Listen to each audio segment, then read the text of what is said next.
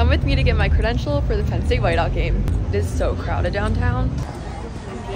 It's so cute because there's always so many parents and alumni here and they're talking about their memories from when they went to Penn State. The apartment buildings here are massive. All right, I'm alone now, so I feel like I can actually talk. I get nervous talking in public. I think these are the prettiest looking dorms on campus. These aren't even really considered the freshman dorms. Those are East dorms. I wasn't in these or East. Aaliyah and I got a little bit unlucky and were put in the not as nice dorms, but they made for some good memories. Or not good, interesting. Someone's gonna come out and ask me if I'm lost. No, I've been here for two years. There's the Bryce Jordan Center and Zach Bryan is performing in March. I need to go. There is the one and only. Got my credential. They are prepared for the rain. Rare sighting of Beaver Stadium empty. This is how dedicated our fans are.